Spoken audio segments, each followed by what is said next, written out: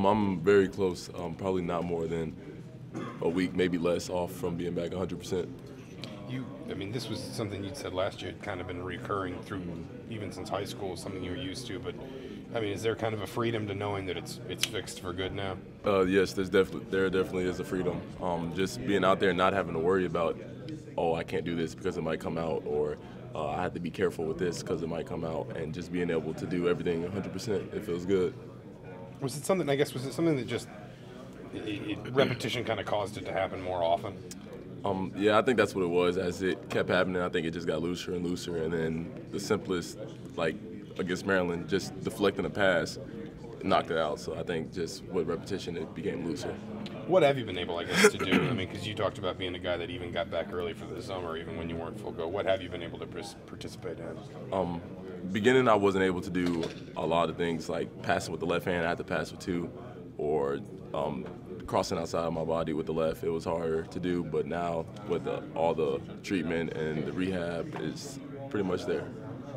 You want to look a little bit thinner. I mean, it's a good thing, right? Yeah, it is. Um, Just talk about it. Well, I remember last year I came in at 250, and so I lost a lot of the fat I had coming in here, and I just feel good, been eating better, um, trained a lot harder this year, just was a lot more comfortable with the uh, training process. Where are you today? Um, as far as Wait, wait. um, 228. What's that meant for you on the court? Um, it's I move a lot better now. Um, not really just moving as slow as I used to, and I'm moving more fluid. What um, you took a few three pointers last year, uh, not many, but you made I think almost half. I mean, is that something you, you think you can add this season, being able to step out a little bit more? Um, yeah, definitely. I think uh, it was there, and uh, I wasn't trying to overstep my boundaries as far as taking as many like threes as Nick was, because obviously he was a shooter and I was more of a post. But uh, when the opportunity presents itself, I'll be able to knock it down.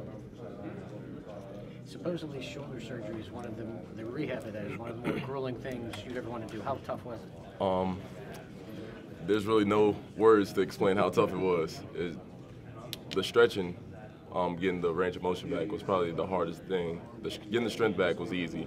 Um, just adding weight casually and then going up every time you started working out. But the stretching and trying to get it back so when you go for a rebound, you still had that strength was the hardest part. I suppose what you had to maybe sleep in a reclining chair for a while, or could you? Uh, yeah. Uh, for like two or three weeks, I had to sleep in a reclining chair because I couldn't lay on either side without it hurting.